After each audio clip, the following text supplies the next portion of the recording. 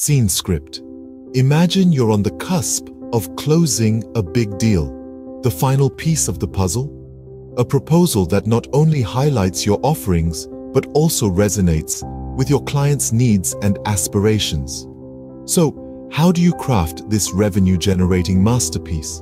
Firstly, take a deep dive into your client's needs. Don't merely list your product's features. Instead, understand your prospect's unique challenges and business goals.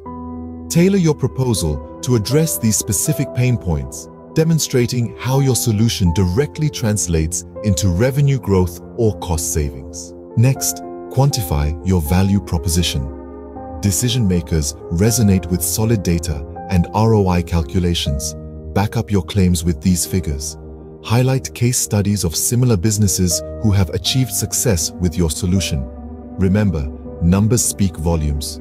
The third step is to prioritize clarity. Structure your proposal for easy comprehension. Use concise language, bullet points, and visuals to present information clearly. Ensure your value proposition is front and center, and the path to implementation is well defined. Fourthly, showcase your expertise subtly weave your industry knowledge into the narrative. Highlight relevant client testimonials and successful case studies.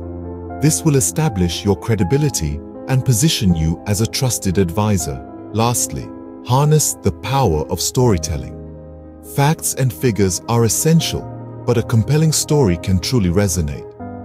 Craft a narrative that showcases the client's current struggles and positions your solution as the bridge to their desired future state.